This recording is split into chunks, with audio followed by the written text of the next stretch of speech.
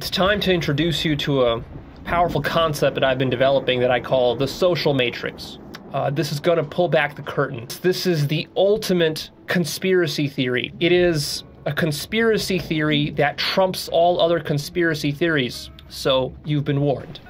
What is the social matrix? The social matrix is the entire collection that we might call society of elements and institutions which are used by your mind to, as reference points, as anchors in order to construct your sense of reality and how you should live your life. What most people don't appreciate is just how deeply social human beings are. We like to think that our mind is just interacting with reality, with an objective reality out there. The information that we get from society, like from the books that we read, from the schools we go to, from the people we talk to, the public intellectuals we listen to, and so forth, that they are just giving us straight reports of what reality is. What we're not noticing is we're not noticing how we as a human species are actually co constructing reality together and are using each other in this social fabric sort of way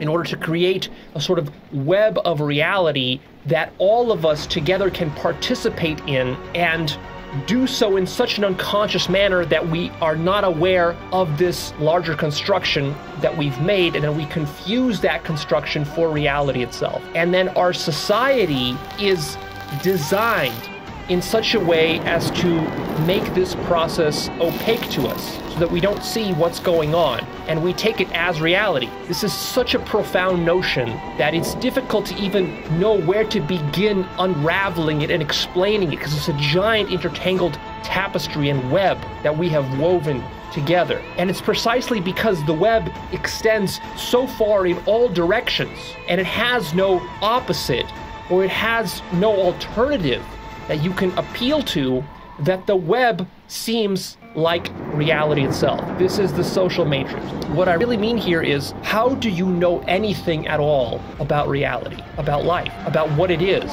about what's right, about what's wrong, about what you should do, what you shouldn't do, what's true, what's false? How do you even know where humanity came from? How do you even know where your family came from? How do you know where you physically came from? How do you know where your body came from? What your body is made out of? How do you know these things? If you do a sort of archaeology on your own mind, you can go back and look in, in your past, you can excavate and try to unravel the beginnings of your own mind and your own sense of reality and knowledge.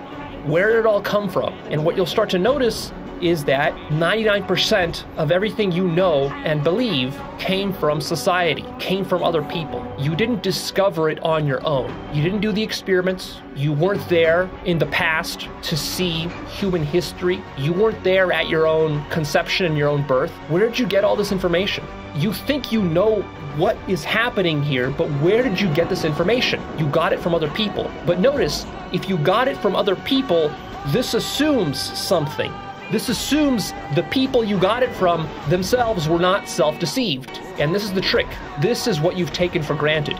You've always assumed from the very beginning of your life that the information that you've been being fed, regardless of who or where it was being fed to you from, whether your parents, your siblings, your friends, your coworkers, professors, teachers, religious leaders, whoever you were getting your information from, you've always generally assumed that the information was true and that those people were not lying to you and were not themselves self deceived.